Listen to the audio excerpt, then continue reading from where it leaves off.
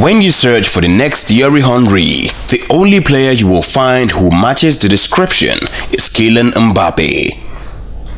With the world watching, the boy wonder scored against the oldest goalkeeper in the Champions League, Gianluigi Buffon, making him the youngest goal scorer ever in the semi-final at 19 years. So who really is a youngster that has taken the football world by storm? Born 20 December 1998, Mbappe went straight into football, joining Clairefontaine Academy at an early age. The France international would later get a move to Monaco in 2014. Mbappe made his first team debut on December 2, 2015 in a League 1-1 draw against SM Caen and the process became Monaco's youngest ever first team debutant aged 16 years 347 days. Two months later, he set another record. This time, he was the youngest goal scorer in Monaco's history. Mbappe capped a fine debut senior season by scoring five times for France as they won the 2016 UEFA Europa Under-19 Championship.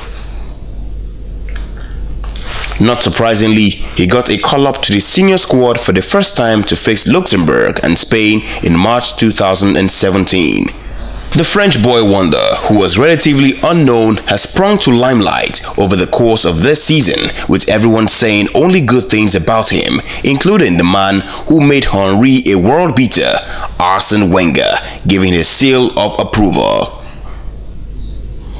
Continuing to make history, Mbappe became the youngest player to score in a Champions League semi-final at 18 years and 134 days, after also becoming the first player to hit the back of the net in each of his last four Champions League knockout matches. From the second round onwards, only Cristiano Ronaldo has scored more goals, 8 for the Real Madrid man and 6 for Mbappe.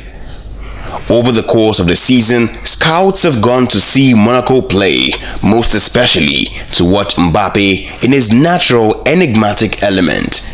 Having played a key role in Monaco's push to the top of Ligue 1, the destruction of Man City and Borussia Dortmund, the French Principality will not be eager to let him go. But a reported valuation of over 100 million tells all one needs to know about Monaco's reluctance to sell him.